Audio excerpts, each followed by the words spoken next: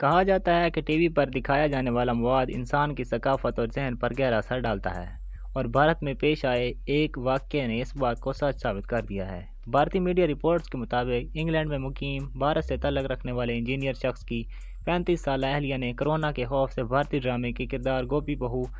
Sorry गोपी बहन की तरह अपने शोहर के लैपटॉप और मोबाइल को सरफ से धो डाला।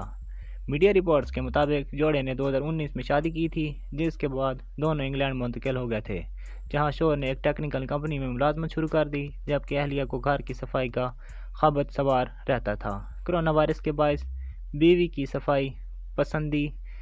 जुनूनीत की कैफियत इख्तियार कर गई, जिसके पेश नज़र खातून घर की छोटी छोटी चीज़ों से लेकर बर की आलात भी धोने का